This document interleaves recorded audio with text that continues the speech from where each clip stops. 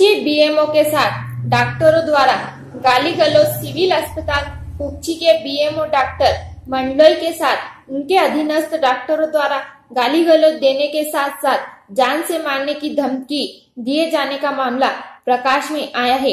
देवड़ा के खिलाफ स्थानीय पुलिस थाने पर लिखित आवेदन देकर उनके खिलाफ कानूनी कार्रवाई करने की मांग की गई है। डॉक्टर कुरिल व डॉक्टर देवड़ा पर ड्यूटी समय में अपने क्लिनिक पर मरीजों को देखने का आरोप पूर्व में कई बार लग चुका है। डॉक्टर कुरिल, स्थानीय वजनदार नेता के संरक्षण में मरीजों के साथ अभ्रद्धा पिछले कई समय से लगातार करते आ रहे हैं। पुलिस थाने के समीप ड्यूटी समय में अपने क्लिनिक पर वह अधिकांश समय देखे जा चुके हैं। डॉक्टर कुरिल व देवड़ा के पूर्व में भी कई बार मरीजों को परेशान करने को लेकर वरिष्ठ अधिकारियों से शिकायत की जा चुकी है।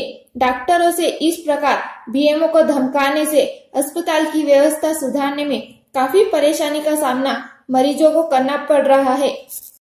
आपके संदर्भ में आप कुछ बोलेंगे? जी सर।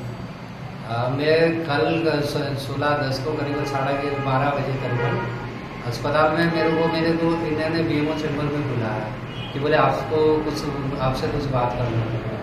ये डॉक्टर पूरी और डॉक्टर देवड़ा खूब नशे में आ आए वो चेम्बर में आके मेरे को खूब गाली गलौज करी। माँ बहन की गाली दी माँ ये मारने की धमकी दी।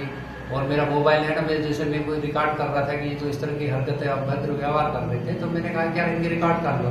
तो ने जो है मोबाइल छीन के फोड़ने की कोशिश करी और जान से मारने की धमकी दी। और जाते जाते जो है देवड़ा जो है खूब माँ बहन की गाली दे, दे के गया। इस संदर्भ में आपके द्वारा कोई शिकायत दी गई? मैंने सभी वरिष्ठ जो अधिकारी को जैसे पुलिस थाने